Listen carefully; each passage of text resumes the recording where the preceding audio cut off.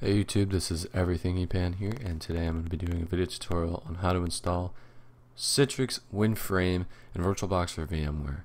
Um, I guess it was kind of owned by Citrix and Microsoft. I don't know. It was called Citrix WinFrame, but the title is going to say just how to install WinFrame and VirtualBox for VMware. But um, this is how to install it. Um, WinFrame, uh, it looks. It's basically Windows 3.1 or like a lookalike of it. I don't know what you would call it. Last time I said lookalike, they'll be like, oh yeah, the operating system was fake. I don't know.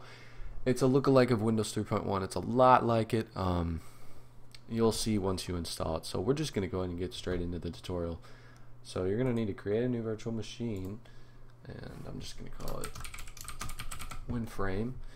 Go ahead and choose Other Windows 32-bit and hit Next um, RAM at 512 hit next. Now it does not it will not go um, to 20 gigs. So we'll just make this let's just say 2 gigs. Oops.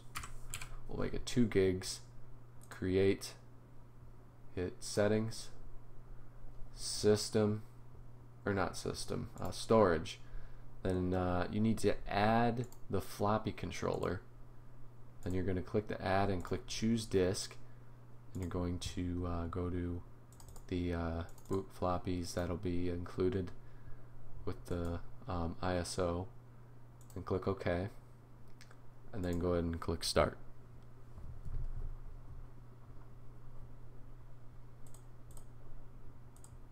So it's going to start up the uh, setup and now it's going to ask you to put in disk number two already.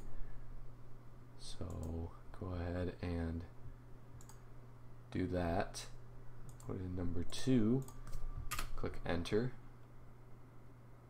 then click enter on welcome to setup page, click enter to do the express setup, and now it's going to ask you to do um, this number three. Oops. So go ahead and insert disk number three and hit enter.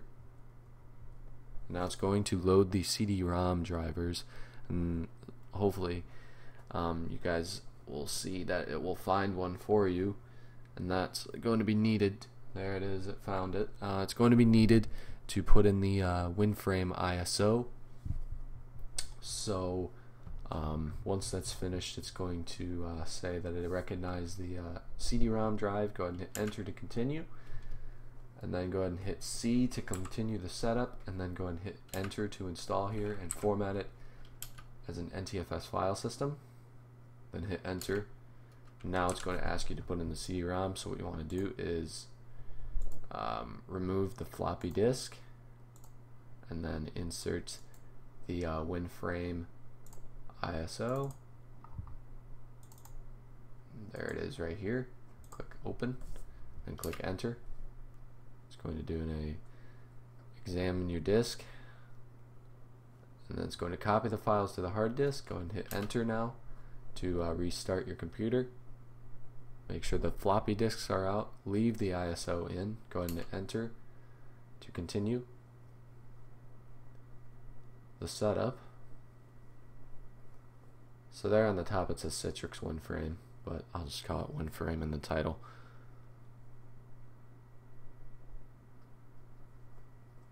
And here uh, you see the backgrounds like Windows 95 setup. Um, so now you got to type in a name.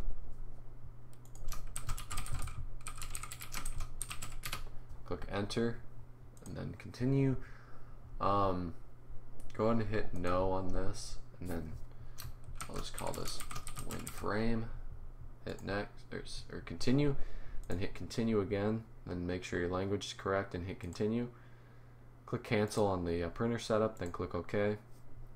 Click continue continue, continue, and now it's going to install WinFrame. So this could take some time, so just let it sit for a little bit, and I'll be back with you guys once it's finished. Okay, so once it's done like copying files or installing files or whatever, um, click no on dial-in support, and then now it's going to configure networking.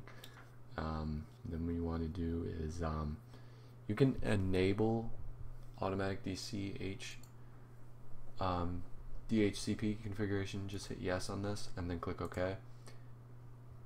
and then it's going to start the network.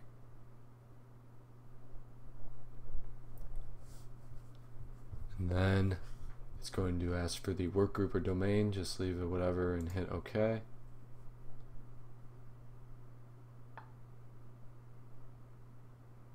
And it's going to uh, ask for an administrative password in which you do not have to do. Go ahead and hit OK. But you do have to do a username for this. And then uh, click continue. And then uh, go ahead and click OK to leave the uh, password blank. Um, and then choose your time zone, hit OK. Click OK here, and then click OK right there. Click on yes, and then continue.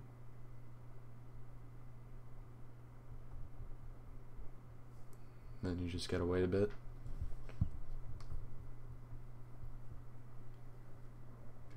It's going to save your configuration, then it's going to ask to uh, create an emergency repair disk. Go ahead and hit no on that. And now it's successfully installed, so you want to go ahead and remove the ISO by clicking remove and then click restart computer. And then go ahead and hit enter to load uh, WinFrame. And this is version 1.8 if you did not know. Uh, build 403 Service Pack 5B. Just to let you know.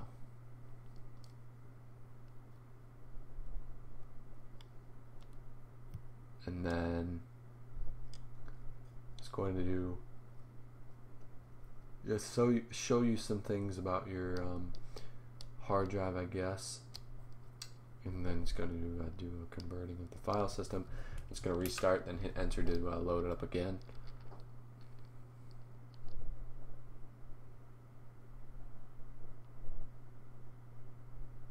And then um, it's going to um, load. There it is, Citrix WinFrame. So it's basically the extension to the NT server. And then it's going to say press Control Delete. So what you want to do is hit Input keyboard, insert Control Alt Delete, then type in your username, hit Enter, or type in your password or whatever. And then um, there it is. There is uh, WinFrame right there. So um, there you go, guys. That's how to install uh, WinFrame in VirtualBox or VMware. Thank you guys for watching. Um, leave a like on the video if you enjoyed. Um, share the video as well. Um, comment ideas down below, please. And don't forget to subscribe. Um, once again, thank you guys for watching, and I will see you guys in the next video.